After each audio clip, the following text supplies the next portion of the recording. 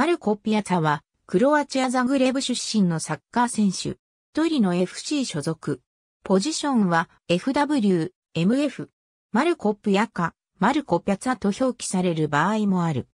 2010年に地元ザグレブのクラブである NK ロコモティバザグレブの下部組織へ加入し、2012年にトップチームへ昇格。同年2月24日の NK ザダル戦でプロデビューを果たした。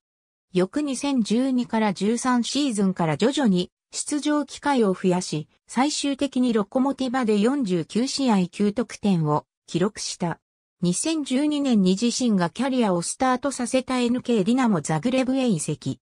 2014年12月12日に行われた UEFA ヨーロッパリーグのセルティック FC 戦では、ハットトリックを記録し、4から3での勝利に貢献した。2016年7月21日、ユベントス FC への移籍が決定。契約は5年間、移籍金は2300万ユーロ。背番号は、シモーネ・パドインの移籍により空き番号となっていた20番。ディナモ・ザグレブ時代や代表と同じ背番号である。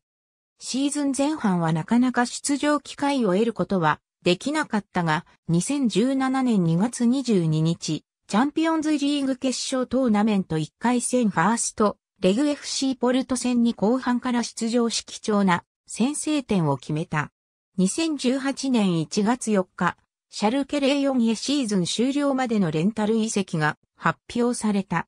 2018年8月7日、アクフフィオレンティーナへ1シーズンのレンタル移籍が発表された。レンタル料金は200万ユーロで買取オプションを行使する場合、3年間で2000万ユーロを支払うことで合意したことも合わせて発表された。2020年1月31日、アンデルレヒトへシーズン終了までのレンタル移籍が発表された。2020年9月19日、ジェノア CFC へのレンタル移籍が決定。2021年7月28日、トリノ FC は買取義務が付帯するレンタルでピアツを獲得したことを発表した。世代別代表に選出され、2014年9月3日に行われたキプロス戦でマテオ・コバチッチとの交代でピッチに入り、クロアチア代表デビューを果たした。ありがとうございます。